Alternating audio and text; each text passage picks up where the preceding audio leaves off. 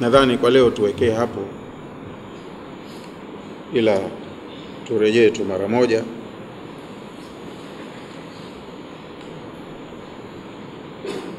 Waqalu, na wanasema lan yadkhula aljannata illa man kana hudan au nasara, katu hataingia peponi isipokuwa atakayekuwa kwenye dini yetu ya Uyahudi. Mayahudi wanasema hivyo, na Wakristo wanasema katu hatoingia yoyote peponi ila aliyekuwa kwenye dini ya Ukristo. Tilka amaniyuhum, haya ni matumaini yao tu, haya ni matumaini yao, si maagizo ya kitabu chochote, wala hajayasema haya mtume yoyote katika mitume waliotumwa. Tilka amaniyuhum, haya ni mawazo ya watu. Qul hatu burhanakum, wakikujia na maneno yao haya ya ajabu ajabu, waambie hebu tupeni dalili juu ya usemi huu, in kuntum sadiqin, kama haya mnayoyasema ni kweli, dalili yake iko wapi? Jengeni hoja, mtupe dalili. Bala, kwa nini iwe kama mnavyosema nyinyi? Kwa nini iwe hivyo? Man aslama wajhahu, mtu yoyote atakayejisalimisha kwa dhati kwa Mola wake akaikubali dini sahihi na akaishi kwa mujibu wa hiyo dini na maagizo yake, ndo kajisalimisha. Kama hukufanya hivi, huna salama. We unaishi kidemokrasia alafu uende peponi? Unaishi kisiasa alafu umeambiwa we, chagua kimoja bwana, usichanganye dini na siasa. Sababu basi naacha dini, nachagua siasa. Unaishi mwanasiasa, unaishi kisiasa mpaka unakufa, na wanakuzika kwa taratibu zao zote ushahidi wa mwisho kamili kaburini, alafu useme umepatia.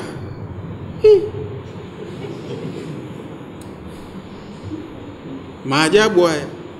Atakayejisalimisha kwa dhati yake akasema mimi nina dini na dini ni mwenendo wa maisha, kwa hiyo kaishi kwa mwenendo ule alilolifanya, akalifanya kama ni ibada. Allah kaagiza, mtume kaagiza, hili nimekatazwa, hili lina faida, hili lina hasara kila anachofanya ni ibada, anapata faida ya dunia na akhera. Ukiishi kwa matakwa ya dunia yako tu utapata hiyo dunia.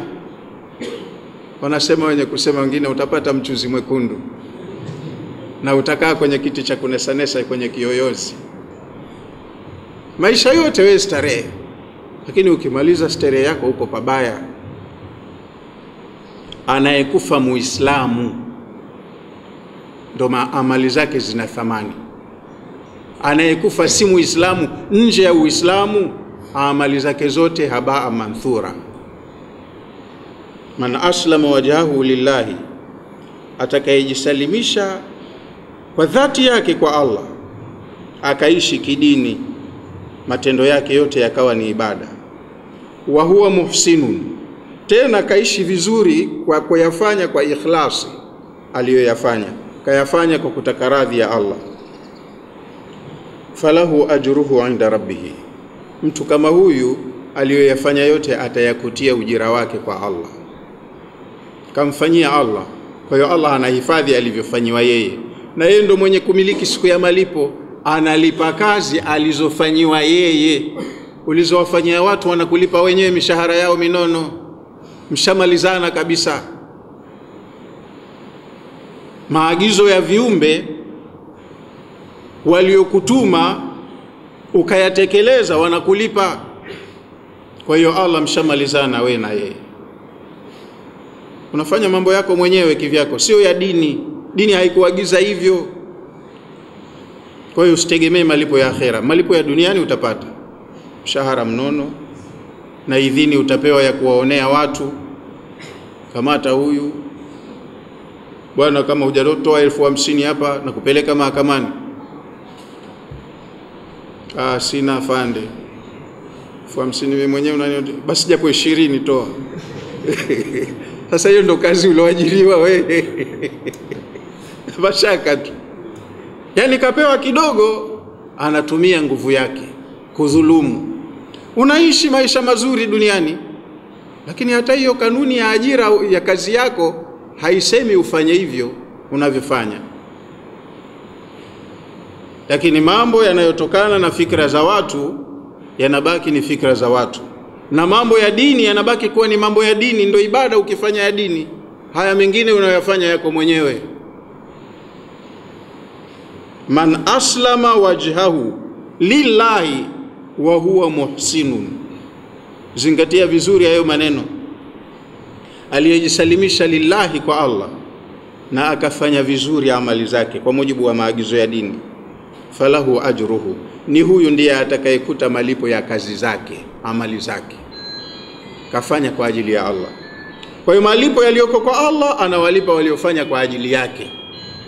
Falahu ajruhu inda rabbihi, aliyefanya mambo yake kwa mujibu wa maagizo ya dini, huyu ndo atakuta malipo ya kazi zake au amali zake mbele ya Mola wake wala khaufun alaihim, wala hawana hofu juu yao watu kama hawa, wala hum yahzanun, wala hawatohuzunika.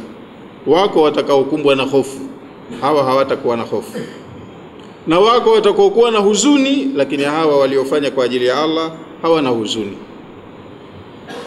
Maisha yao hapa ni mazuri, na wataondoka vizuri, na watakwenda kwenye maisha mazuri. Waqalat alyahudu laisat nasara ala shay, Mayahudi wanasema Wakristo hawana dini, hawana kitu kwa Mungu. Waqalat nasara, na wanasema manasara laisat alyahudu ala shay, Mayahudi hawana dini kitu kwa Mungu. Wahum yatluna alkitabu, wanasema maneno ya ajabu, hali ya kuwa wanacho kitabu wanasoma na wakati mwingine unamkuta mtu wa Qur'ani naye anayo Qur'ani anasema maneno ya kuchekesha kabisa, hata Qur'ani haikubaliani nayo, lakini anasema yeye. Wahum yatuluna alkitab, wanasema maneno ya ajabu ajabu na wanatenda matendo yasiyokuwa na vipimo, hali ya kuwa wanasoma kitabu. Kadhalika qala alladhina la ya'lamuna mithla qawlihim, maneno kama haya walioyasema watu wa kitabu wameyasema washirikina wa Maka, maneno kama haya. Hawa wamemkufuru Musa na wengine wamemkufuru Isa na washirikina wakamkufuru Muhammad. Na wakaikataa Qur'ani yake.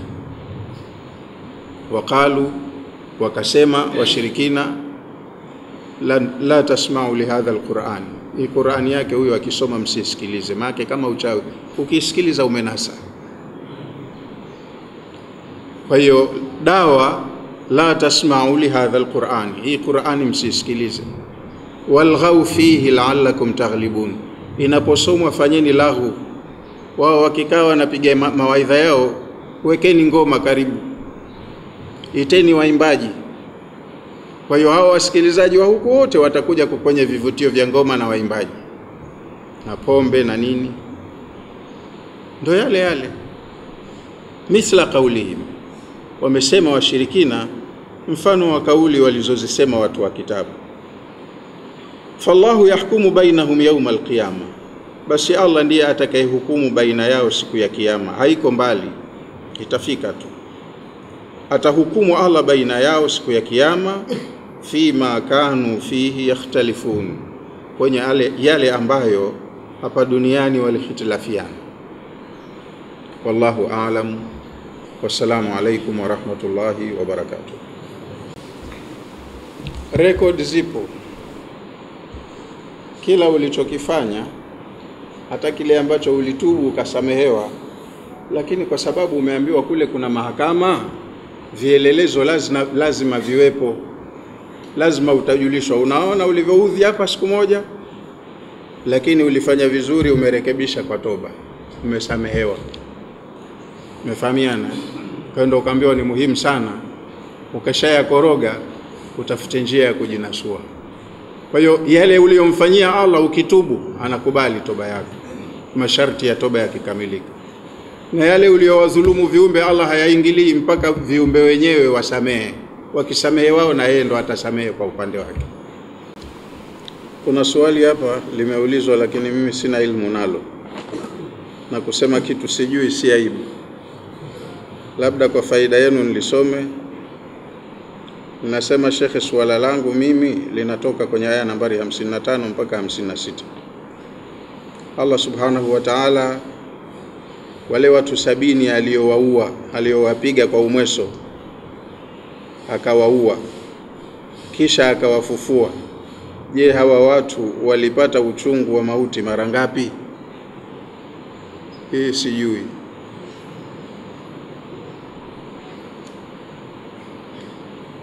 ikiwa agizo lilikuja kuwa kila nafsi itaonja uchungu wa mauti. Ndio swali lake huyo bwana. Allah akasema kullu nafsin dha'iqatul maut. Sasa hawa wameonja mauti mara ngapi? Ili silijui kaliulize kwa mashekhe wake mimi sio shehe. Salamu alaykum